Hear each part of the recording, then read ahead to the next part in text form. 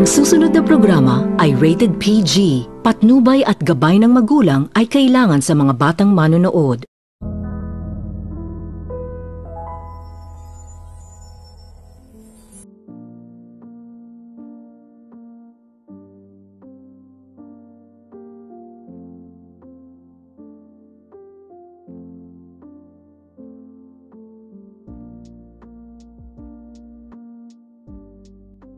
Hindi nito mapigilan ni Giselle ang kanyang sarili pagkatapos nitong malaman ni Giselle na itong si Zoe ay, ay hindi umano ito totoong anak sa kanyang kapatid sa kadahilanan ng makita nito ni Giselle na inaaway nito ni Zoe itong si Doktora Annalyn Santos ay dito. Agad nitong nilapitan ni Giselle ang dalawa at agad naman nitong inawat ni Giselle itong si Zoe upang hindi umano nito saktan itong si Doktora Annalyn Santos. Ngunit hindi ito nagpapapigil itong si Zoe at hindi nito sinusunod ni Zoe ang mga sinasabi ng kanyang tita Giselle sa kadahilanan na hindi nito napigilan ni Giselle ang kanyang sarili at agad nitong sinabunutan ni Giselle ang kanyang pamangkin na itong si Zoe at sinabihan nito ni Giselle na huwag umano nitong saktan ang kanyang pamangkin na, itong si Doktora Annalyn Santos.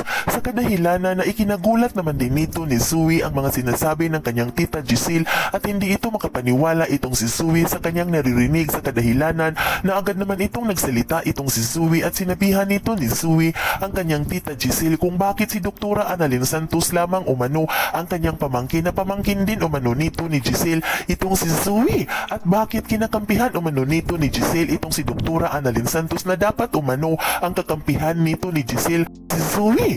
At dito hindi nito napigilan ni Giselle ang kanyang sarili dahil sa tindi ng galit nito ni Giselle na sinagot-sagot ito ni Zoe sa kadahilanan na nabitawan ni Giselle kanyang bibig at sinabihan nito ni Giselle itong si Zoe na hindi umano nito totoong pamangkin ni Giselle itong si Zoe dahil hindi umano ito anak si Zoe sa kanyang kapatid na si Uwing. Sa kadahilanan, kinabulagta naman din nito ni Zoe ang mga sinasabi ng kanyang tita Giselle sa kanya at hindi ito makapaniwala itong si Zoe na, na alam na umano ng kanyang tita Giselle ang kanilang sikreto dahil tama naman umano ang kanyang tita Giselle at hindi naman umano nito totoong ama ni Zoe itong si Dr. Tanyag. Yan ay ating aabangan sa susunod pa na pangyayari sa kaganapang ito ng abot kamay na pangarap. Huwag mong kalimutang isubscribe at i-hit ang notification bell ng aking channel.